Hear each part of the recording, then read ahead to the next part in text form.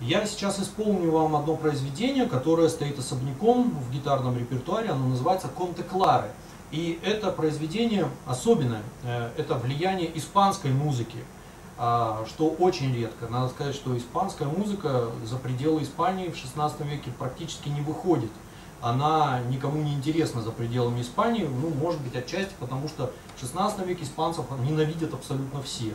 Это самая могущественная, самая агрессивная империя, которая подавляет вообще всех, ведет беспощадные войны на море, в колониях, везде. И поэтому отношение, соответственно, к ним было примерно как сейчас к США, наверное.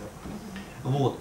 А здесь как раз проявление вот этой испанской музыки, потому что Конде Клары это не что иное, как Конде Кларус. Это вариации на популярнейшую испанскую тему, романс, э, который практически все авторы э, виуэльной музыки испанской, они оставили свои вариации на тему Конде Кларс.